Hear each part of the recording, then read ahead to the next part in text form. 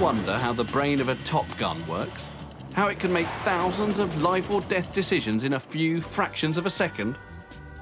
Well, that was one of the questions running through the mind of Dr. Jack Gray. But he wasn't interested in sticking wires into the brains of the flyboys. He wanted to study a pilot that could knock any Top Gun for six. Meet the Locust, the ultimate formation flyer. I'm pretty fond of them. They're, they're very well adapted creatures.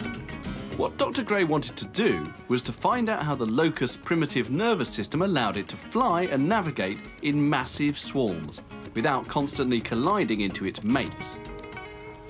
So how do you study an insect flying? Meet Loco Simulator 1.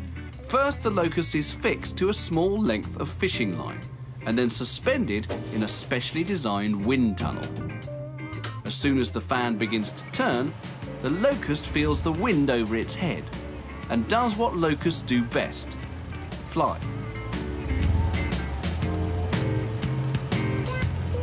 The locust moves freely, allowing Dr. Gray to film and study its natural behaviour. And to make the locust do more than simply fly forward, Dr. Gray projected images of possible objects onto a screen inside the wind tunnel. What he found confirmed his suspicions that the locust's brain was extremely responsive. It has very fast neurons that can detect approaching objects and allowing the locust to make that very fast decision as to where to go. Dr. Gray's wind tunnel had proved to him that locust brains can react extremely fast to stimulus. But it wasn't enough. He wanted to dig deeper and actually see what their brains were doing. And for that, he needed a new simulator.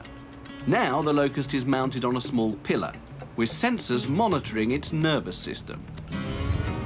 Instead of the crude images of LocoSim 1, the locust is now immersed in a virtual reality world and is free to fly wherever it wants to.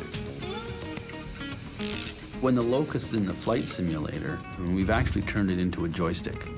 And so when the locust tries to move, that signal moves the environment in a way the locust might expect it to.